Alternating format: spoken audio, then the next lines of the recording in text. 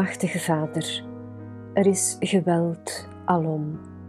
Elke dag opnieuw krijgen mensen te maken met oorlogsgeweld, geweld rond het voetbalveld, interfamiliaal geweld. Ik heb medelijden met al die onschuldige slachtoffers die fysiek en psychisch gewond raken door wat hen wordt aangedaan. En ik bid u dat u ons helpt om vredelievend te zijn. Vader, vergeef ons dat we als maatschappij geweld welkom heten. Horrorfilms zitten in de lift en in zoveel games en video's is geweld een vorm van amusement. Met Halloween vieren we die gruwel.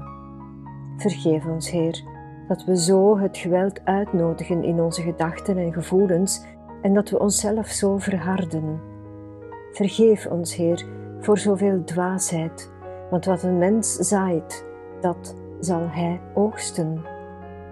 Jezus, u wil mensen in nood bijstaan, maar door onze houding wordt u uit onze maatschappij weggejaagd als iemand die het spel verstoort.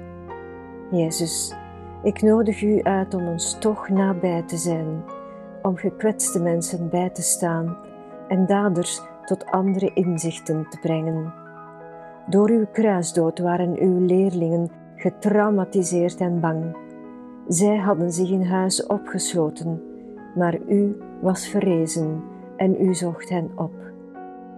Ik wens jullie vrede toe, waren uw eerste woorden.